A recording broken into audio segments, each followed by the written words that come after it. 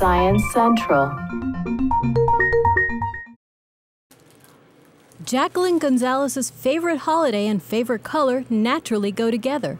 It signifies love. Um, it's warm, sexy. Psychology research is backing up the notion that red spells romance for men.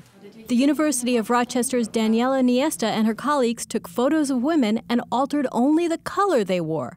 Then they gave different groups of male volunteers a five second look and had them answer questions like How much would you want to go on a date with the person? If you had $100 in your pocket, how much would you spend of the money to pay, in, um, to pay for a dinner?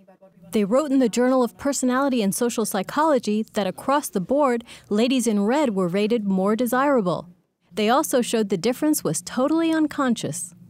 Red is so predominantly used in the context of love and passion and sex that um, it's interesting that people are not aware of what it does actually to you in reality. So is red just a manslayer, or can women also succumb to its powers? That remains to be studied. Should guys drive a red sports car to their date? well, a red sports car is probably always sexy to drive, no matter what we will find out. And if a little red Corvette is not in your budget, you can always say it with flowers. Sunita Reed, Science Central News.